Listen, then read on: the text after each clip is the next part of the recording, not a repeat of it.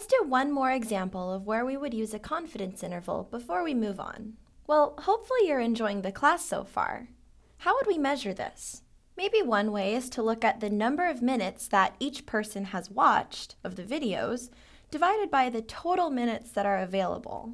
We could call this something like the engagement ratio because this provides some indication of how engaged you are. If you're watching more video, then you're probably more engaged.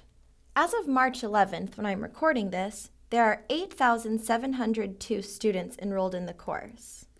I made up this hypothetical data set, the link is below.